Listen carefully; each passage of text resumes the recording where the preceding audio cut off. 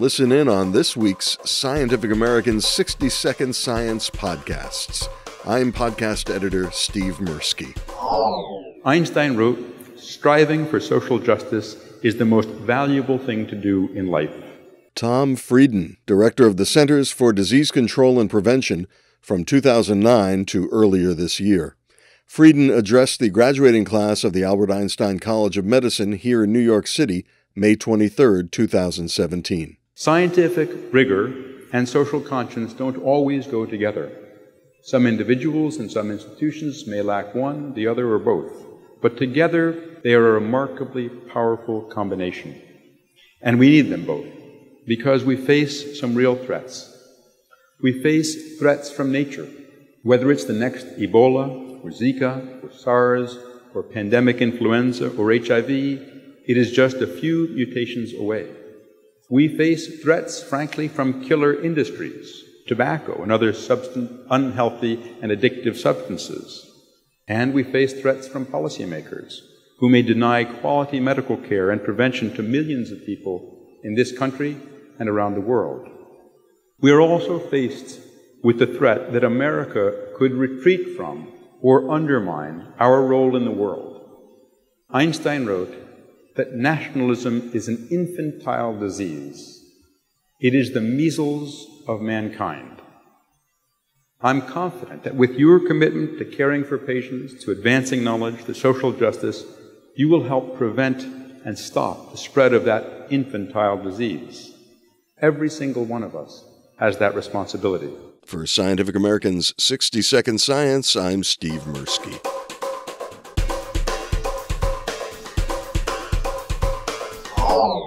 Fitness bands like the Apple Watch and the Fitbit aim to track your vitals, like heart rate, but early models weren't all that accurate. We've thought of them a little bit like random number generators. They really didn't seem to be providing anything that bore any relationship to heart rate. Euan Ashley, a cardiologist who studies wearables at Stanford University. He and his colleagues have now tested seven newer fitness bands from brands like Apple, Fitbit, and others, and he says those heart rate stats have gotten way better. Yeah, we were pleasantly surprised actually by how good the accuracy of the heart rate monitoring was. For most of the devices, the error rate was less than 5%. That's good enough for your doctor. But where all the devices failed to measure up was estimating calories burned. Even the most accurate devices were off by 27% compared to lab measurements of energy expenditure. One device was off by more than 90%. If you think about going to the gym and working out for an hour and maybe that's around 400 calories, then in reality that could be anything from 200 to 800 and and that's a big difference if you're thinking about somebody who's incorporating those estimates into their lifestyle and in particular thinking about what to eat that evening based on the workout they did that afternoon. The results are in the journal of personalized medicine.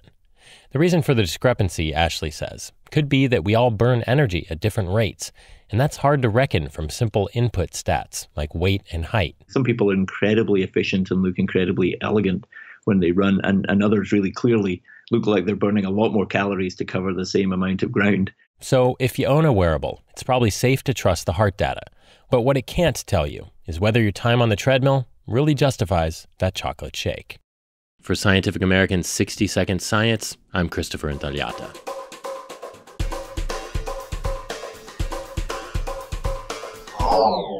When California was strangled by drought, the city of Los Angeles was offering homeowners cash to replace their lawns with landscaping that was less thirsty, because water just evaporates from overwatered lawns. But how much? So that turned out to be a lot of water. Diane Pataki, an ecologist at the University of Utah. Turns out to be 70 billion gallons of water a year. Pataki and her team got that number using a combination of real world sensor data and modeling and they found that of water wasted specifically in urban landscaping, lawns were to blame for three quarters of it, with LA's 6 million trees accounting for the rest. The study also uncovered something these ecologists were not expecting to study economic disparity. The amount of vegetation is really closely related to affluence. And so in LA, that means that wealthy neighborhoods actually have twice the evapotranspiration of poor neighborhoods. Meaning low income neighborhoods not only miss out on the greenery, but also the natural built in cooling effect of evapotranspiration.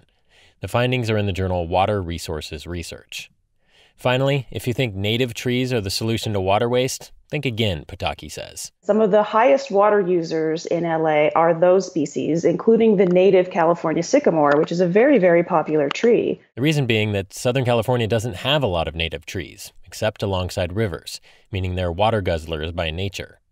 Better, she says, to plant other species that thrive in Mediterranean climates, like water thrifty pines and palms.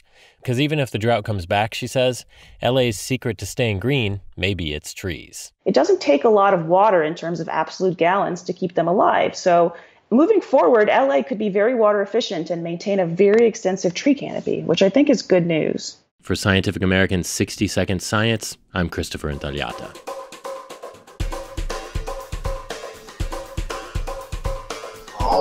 What comes to mind when you think of Alaska? Probably snow and ice and extreme cold. But what about tomatoes? In fact, agriculture is booming in the 49th state because in the last seven years, nearly 700 giant greenhouses have popped up there, thanks to a program funded by the U.S. Department of Agriculture's Natural Resource Conservation Service. One greenhouse just outside Homer, an area better known for its halibut fishing, includes a tunnel packed with plants that produce fruits and vegetables that you'd expect to find on a dinner table closer to Mexico. Look at all those tomatoes back there. This is like the salsa tunnel. It is. It is. Come come walk inside for a minute. Okay. Farmer Donna Rae Faulkner. She guides me through rows of wall to wall and floor to ceiling greenery. Yeah, this is the nightshades. So all things nightshade, eggplants and peppers and tomatoes and tomatillos.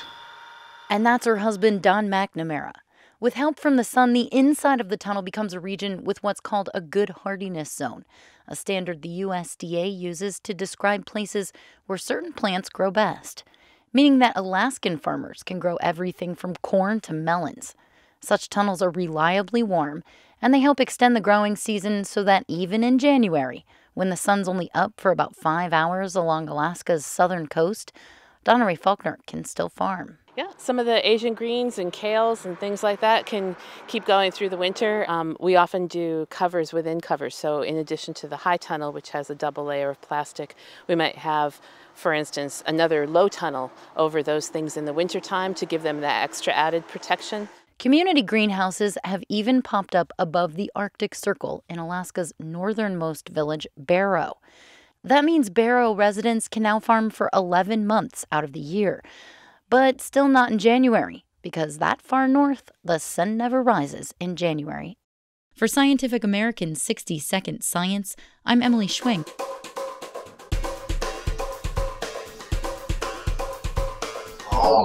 Caviar is one of the world's priciest foods. It can cost thousands of dollars a pound.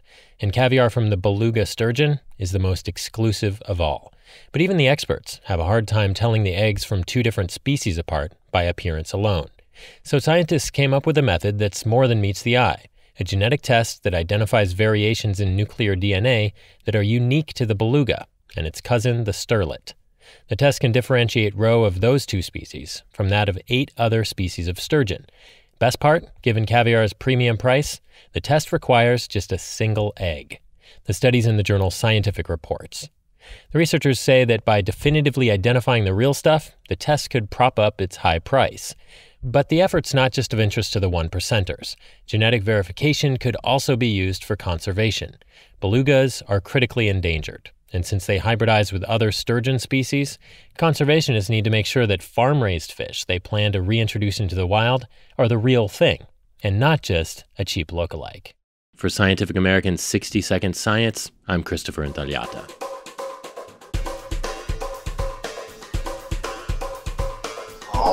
I wish to tell the United States France believes in you. The world believes in you. New French President Emmanuel Macron speaking in English June 1st after American President Donald Trump announced that the U.S. would withdraw from the 2015 Paris Climate Agreement. I know that you are a great nation. I know your history, our common history. To all scientists, engineers, entrepreneurs, responsible citizens who were disappointed by the decision of the President of the United States, I want to say that they will find in France a second homeland.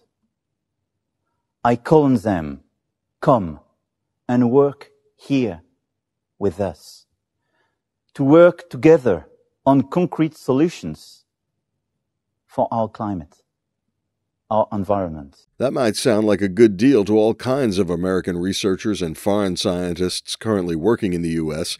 in light of massive looming Trump budget cuts at the National Institutes of Health, the Centers for Disease Control and Prevention, the Food and Drug Administration, the National Science Foundation, NASA, the Department of Energy, the National Oceanic and Atmospheric Administration, the U.S. Geological Survey, and of course, the Environmental Protection Agency. I can assure you, France will not give up the fight. I reaffirm clearly that the Paris Agreement remains irreversible and will be implemented not just by France, but by all the other nations. I call on you to remain confident. We will succeed because we are fully committed. Because wherever we live, whoever we are, we all share the same responsibility. Make our planet great again. Thank you.